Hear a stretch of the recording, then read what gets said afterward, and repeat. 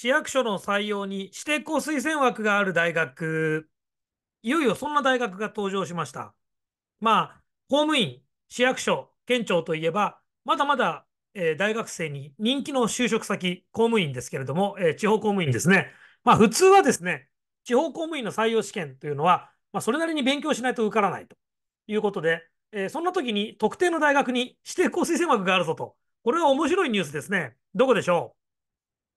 えー、まさかの大正大学です。東京の大学なんですけど、えー、しかもまさかの島根県益田市、えー、島根県のですね、岩見にある、まあ、小さな市ですけども、こちらの採用試験で、推薦選考制度というものを、まあ、2025年度採用から開始と。もうだから今年ですね。で、なんで東京の大正大学が島根県益田市の市役所の採用で、えー、推薦を実施してるのかと言いますと、大正大学には地域創生学部という、いわゆる町おこしの学部があるんですね。で、この地域創生学部では、島根県益田市に学生たちがやってきて数週間実習をします。で、なんとすでに5人の卒業生が益田市役所や益田市の企業で働いているんですね。こうした実績が増田市から評価されて、この制度が始まった。大正大学から推薦を受けた学生を対象とする推薦選考制度を実施するということで、この大正大学から推薦された学生が増田市役所を受験をするというときに、まあ、明らかにかなり有利な立場であると。もの絶対受かるとは、えー、言われてないの、書かれてないんですけど、ニュースとかでは。まあ、相当有利であると。そのよくね、理系だったら企業の推薦あるじゃないですか。まるまる研究室の、こう、例えばロボット作ってる学生だったらソニー入れるみたいなの、半ば公然とあるわけですけど、最近はそうでもないのかな？どうなんでしょうね。その理工系大学からメーカーに行く推薦のような感じで、大正大学の地域創生学部で、まあ、大学側が認めた学生であれば、よっぽど増田市役所に入れそうという推薦制度を、まあ、実施するということですね。だから、まあ、正直、他の大学、まあ、島根県ですから別に島根大学とかですね、広島大学とか、広島修道大学とか、別に東京のどこの大学であってもいいんですけど、東京じゃなくてもね、普通に市役所を受験するというときに、まあ、大正大学地域創生学部は明らかに少し優遇されてるぞというのはあるんでしょうね。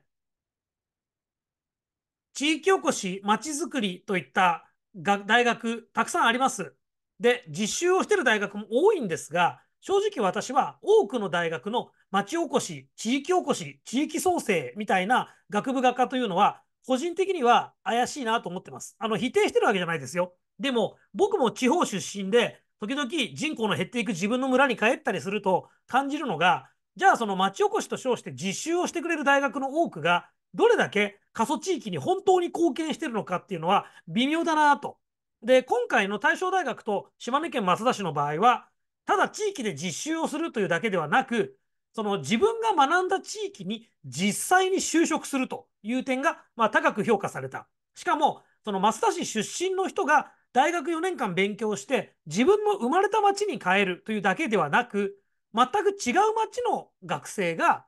自分が実習できた増田市に惚れ込んで就職するみたいな事例もきっと起きてるんでしょうね。で、大正大学の地域創生学部の場合、その地域の魅力に取りつかれ、大学を休学して地域おこし協力隊に参加したり、地方企業でインターンするという学生も結構いるというのはホームページで私も見ています。今回、大学生が大学のない不便な地域にやってきて、ただ実習をするだけではなく、まあ、交流人口の拡大、そして人材が増田市に集まる、えー、増田市に人が回帰するという実績が市役所から高く評価されたとえー、私も一応社会学やってた人間なんで、宮本常一の本で調査される迷惑っていう本を読んだことがあるんですけど、そのフィールドワークですね。社会学とか文化人類学とか、まあ経済経営でも地域おこし系の大学でも、おそらくは地域に足を運んで、その学生や先生方が調査をする、研究をするっていうことは頻繁にやってるんですね。でも、まあこの本によると、そのまさにこう民族学とかの研究者がやってきて、そのその研究者が調査するという振る舞いによって地域住民が迷惑を受けるっていうことを、まあ、鋭く指摘しております。でその多くの町おこしの学部が良かれと思ってですね都会から地方に行って調査をしたり実習をするフィールドワークをするということがまさにですね植民地支配みたいな一方的な搾取であってはならないんだと私は考えてます。大学のいろんな全国にあるなんとか大学の地域なんとか学部というのがその調査対象である過疎地をおもちゃにしているというような印象を与えてはいけないよなということは私も地方の高校全国各地結構僕大学ばっかじゃなくてですね過疎地とか大好きなんでそういう自然の豊かなとことかですねそのいろんなこう地域見に行くの好きなのでですね実はこの島根県益田市も高校で講演したことがあって何度も足を運んでますし今後も行く予定があるわけで正直課題の多い地域です。まあ、交通は不便だし、大学はないし、正直人口減少、それから産業も乏しい、え、などなど、いろいろ課題の多い地域で、まあ、自分はここまで真剣に調査するわけじゃないんですけど、まあ、自分はどういうふうに、例えばこの地域の発展に貢献できるだろうみたいなことは常々考えています。今回ではですね、大正大学の地域創生学部というのは、基本は経済学です。まあ、経済学を基盤に、まあ、地域のことを学ぶ。で、目玉の地域実習というのは、増田市に限らず、全国各地の自治体で数週間の長期の実習を学生が行うことで、地域の課題や資源を発見し、持続可能な地域づくりに向けた解決策の検討と実践を経験しますと。で、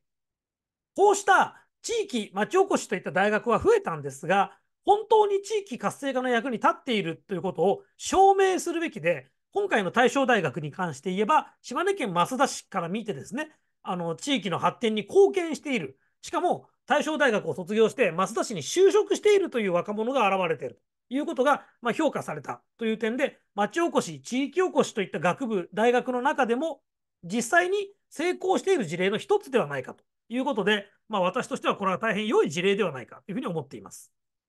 今後、こういった事例が増えるかどうかは分かりません。ただ一つ、大学教育によってこのように成果が出れば、まあ、学生の就職でまだ人気のある地方公務員、例えば市役所の採用とかにおいて、特定の大学が優遇される。なぜならばその大学はその市に大きく貢献してるからだっていう動きは、まあ、今後他の大学や自治体でも起きるかもしれませんね。